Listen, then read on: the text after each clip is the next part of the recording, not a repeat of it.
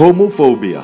Kung basihan ang definisyon sa Merriam-Webster Dictionary, mao kini ang kahadlok, diskriminasyon, batok homosexuality o mga miyembro sa LGBT.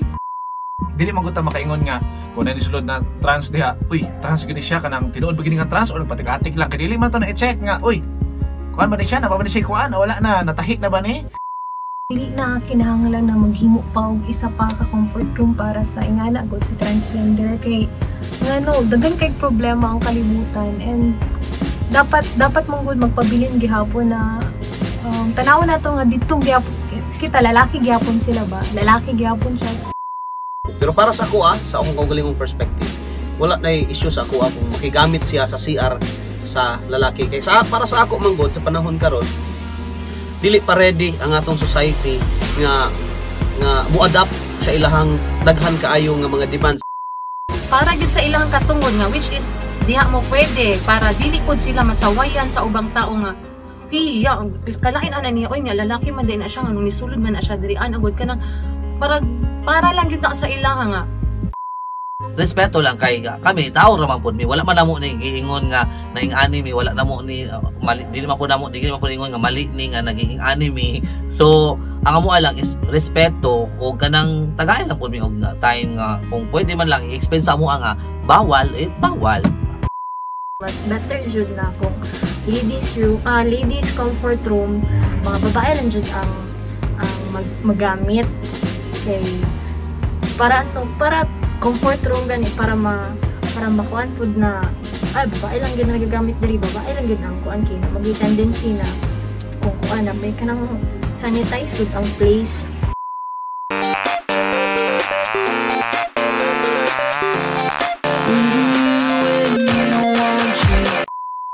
Comfort room, banyo, CR.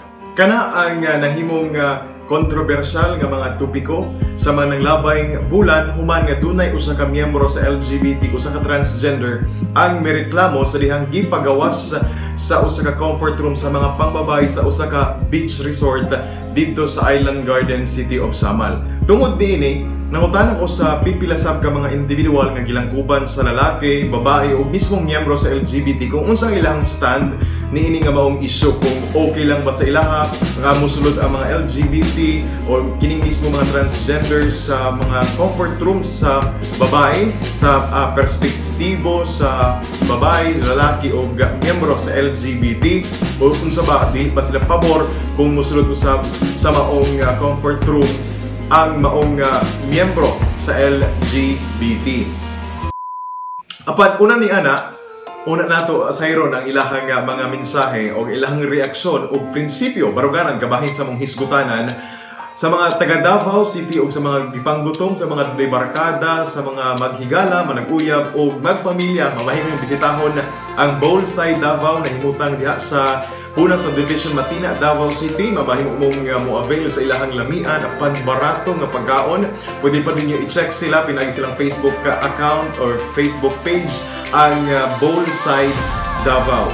Ug sa mga gusto sab nga mag-shopping pinaagi online sa mga barato lang ug uh, nindot paghihapon nga mga sinina mamahimo ninyo i-avail ug i-check uh, atangan ang uh, live nila matagabi ang thrift shop o ang trendy treasures. Kaya daghan silang mga sinina din ha nga pang babae, pang mama, pang dalaga nga mamahimo ninyong mapilian matag gabi.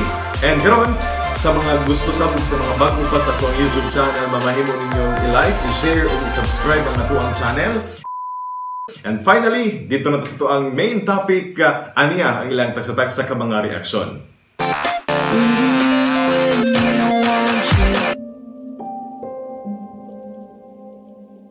From the LGBT community, di na to pwede i-push automatically nga mahitabo ni siya. Kinahanglan og anomalies, kinahanglan og anomalies para mausab ang kining paradigm sa isa ka sa isa ka society. Say for example, abi nimo makatabang ang mga issues say for example sa Islareta nga nayon mahitabo nga sama ni ana aron nga mahisgutan ang mga butang, mahisgutan ang maong butang kung andam na bagyod ang sosyudad o katilingban sa sama ni ini nga mga panghitabo. It's good nga naay sorry to say ha, but it's good nga na mo agi discrimination. Aron makita nato unsa gyud ang standpoint sa society niini hangtod nga mo abot ta sa punto nga dili man siguro totally madawat pero mahatagan sila og ma-facilitate sila nga dili mayatakan po ang ilang kaugalingong mga katungod.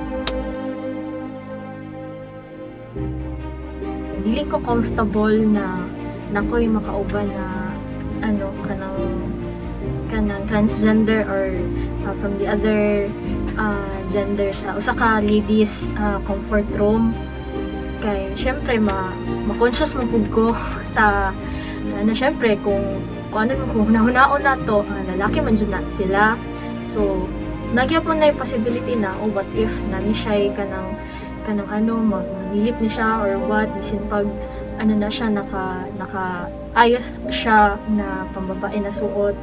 Syempre naghapon tong thought na basin mo kuan kanang na siya dautan na panghuna-huna. Para sa ko ano nga akong partner is kuan lalaki man sad so bilong ko ko sa kini nga tawag na to nga LGBT nga community. Ah, kami sa mga duha sa akong partner dili gid mi uyon ana pero mo lang ito sama sa ginaingon sa uban respeto lang and then uh, nila po kailangan bastuson kumbaga i-approach lang ba nga as sir dili ka pwede diri or ma'am dili ka pwede diri nga area. Ang dili issue nga musulod sa CR sa babae ang dapat itlapdan na to itong pagsabot sa ingana mong good. Kung komportable dahil siya musulod dito, kay nakapambabae siya, then go. Kung maadto po siya sa mga panlalaki, then go. Kung asa siya komportable o dili niya malinta na lalaki, gihapon siya.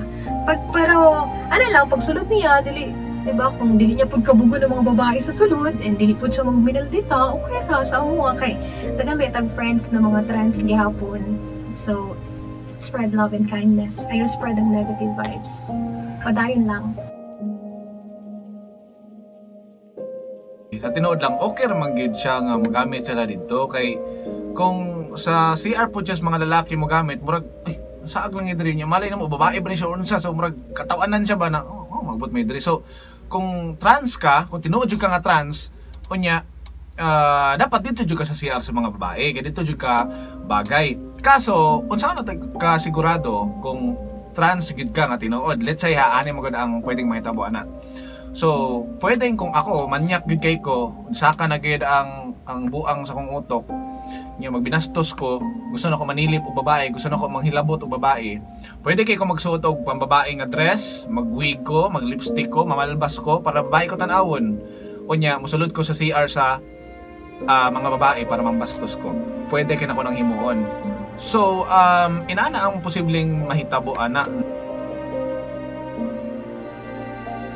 Depende no kung makakuyog ko isa ka transgender, kabalo ko nga bayot siya, unya wala pa siya na transform, unya ang, ang naalang sa iya is tutoy, pero ang iyang ubos na agihapon, depende man gud na siya no kung unsaon nato sila pagdawat. Siguro kung kaila na po siya, kana kabalo ko nga di gid siya manghilabot bisan pag magkuyog mi sa isa ka kwarto siguro no? Kay kabalo ko dili gyud babae gyud siya kung kami ang magkuyog duha. Pero kung lain nga mga transgender nga dili na ko kaila aka na magpanagana gyud kuno kay babae man ko niya sila lalaki gihapon If a person is gay and seeks out the Lord and is willing, who am I to judge that person? Suma pa ni Pope Francis ni atong 2013.